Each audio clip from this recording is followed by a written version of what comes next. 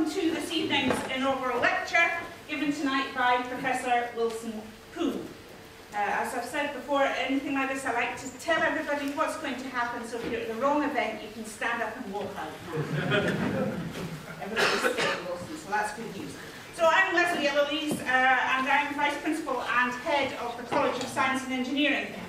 And I have to say that hosting inaugural lectures is one of the happy duties, one of the very pleasant head of college, although I'm not convinced I'll be so happy later on tonight. But uh, it is one, and I know tonight that Wilson will not disappoint me. I know we're in for a real treat tonight. So it's my pleasure to welcome you all here tonight, in particular to welcome Wilson's family, his wife Heidi, and his son Aidan. I'm sorry, Wilson, that your daughter Rebecca can't make it. She's apparently attending alternative physics lectures in Cambridge. but a warm welcome too to Wilson's academic and industrial colleagues and to his friends. Uh, we're in for a treat, as I've said, and so if you'll just um, bear with me, I'll just do a little history of why we're here. Uh, no, no, you stay there. so tonight we're here to celebrate Wilson's succession to the chair of natural philosophy which is one of the oldest and most prestigious chairs in the University of Edinburgh. It was established in 1708 within the Faculty of Arts, where it remained until 1893 when it moved to the Faculty of Science.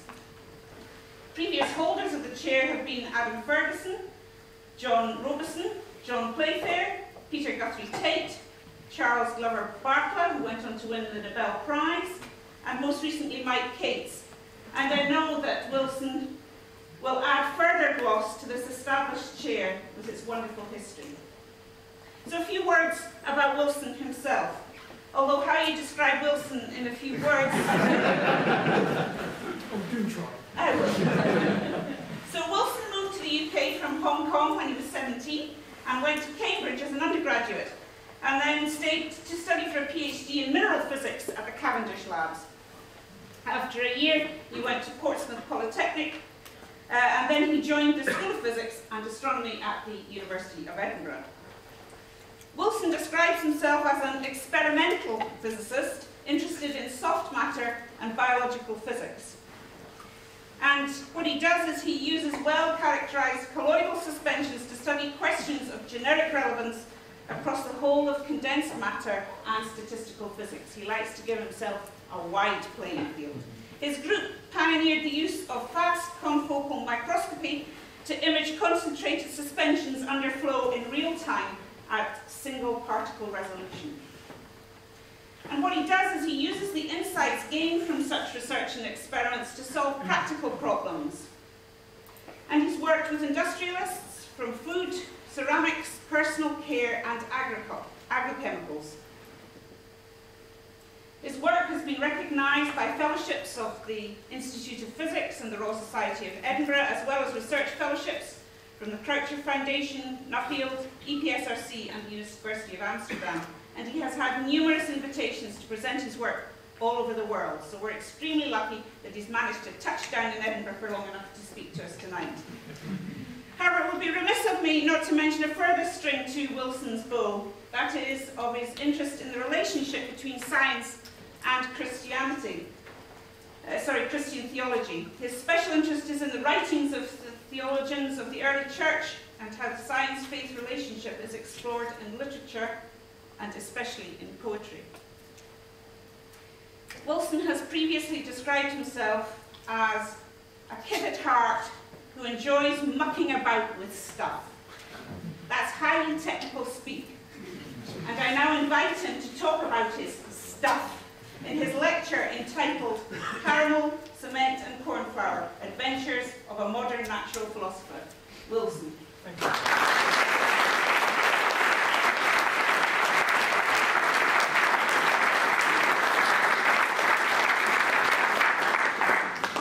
Thank you very much, Lesley let me see what I know how to do this.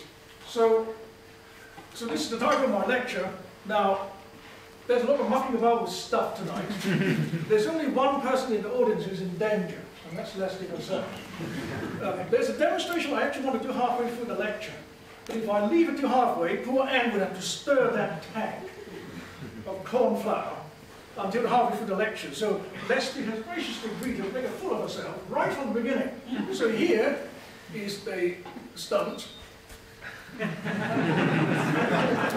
I am. So here's a, here's a bucket of, here's, a, here's, a, here's a spoonful of full of corn flour. Wait, try to- And um, there's a very brave uh, group of postdocs and students who have spent all afternoon stirring it in. Um, Now, Lesley, is this going to be um, to my career? Maybe look at take to mine. Because this could be the only time Professor gets sacked at any of his inaugural lectures. Now just keep moving. Just demonstrate that she can actually walk on cornstarch. And now John, I think, is going to like and look, that's it. Oh, see? Oh, now she's sunk in.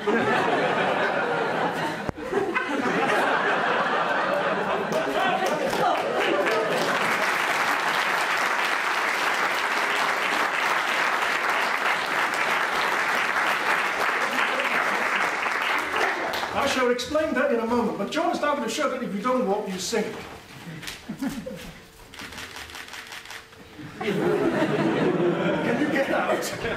I don't know. Because this is Give like me a, give me a while. So while you get out, I can get on. so let's see. Right, so I will stand around here.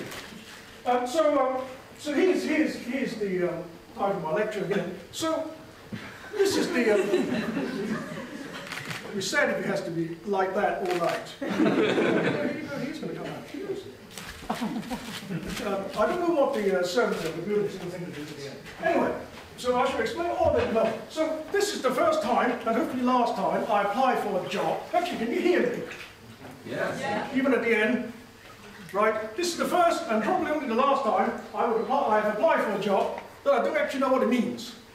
Because I don't actually know what natural philosophy is about.